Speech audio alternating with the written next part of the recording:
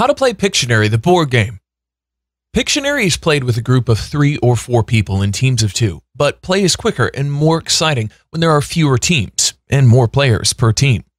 The goal of the game is to guess what the player is trying to convey through the pictures that they draw. What do you need to play Pictionary? Pictionary board game. Four category cards, pencils, drawing pad, four movers, minute timer or sand timer, one die. Game setup. Select one person to be your picturist for the first word. The picturist is the person who attempts to illustrate the word. Everyone else on the team will try to guess the word. Each team gets a category card, a drawing pad, and a pencil. Card categories.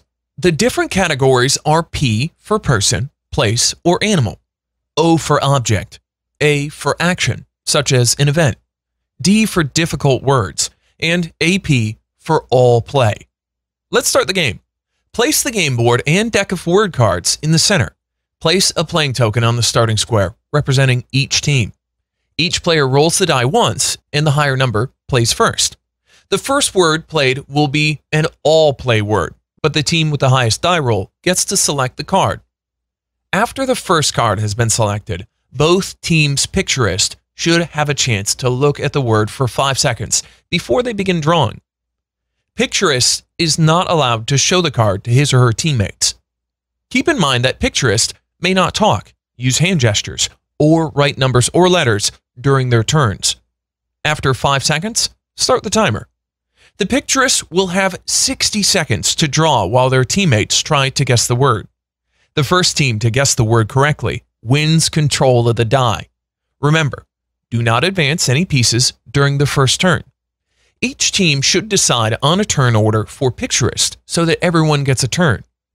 Start each turn by picking a word card, not rolling the die.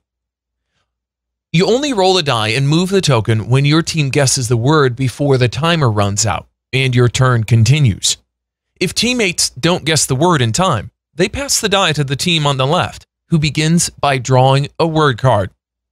If you land on an all play square or the word on the card has a triangle symbol next to it, then all of the teams get to compete.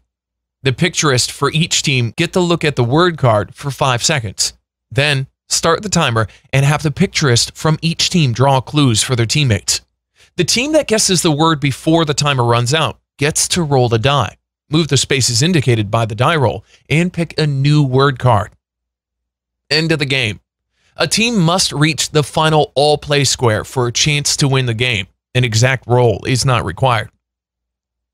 To win, they must have control of the die and be the first team to identify the word during the subsequent all play round. If no team identifies the all play word within the time limit, the die passes to the left. If another team identifies the all play word first, the die is passed to that team. A team already on the final all play square cannot win the game by winning a round controlled by another team. It must regain control of the die to attempt a winning word. If you found this video helpful, please subscribe on our YouTube channel and follow future videos as well. And click on the bell icon to activate notifications when new and exciting videos are uploaded. Thank you for watching this video.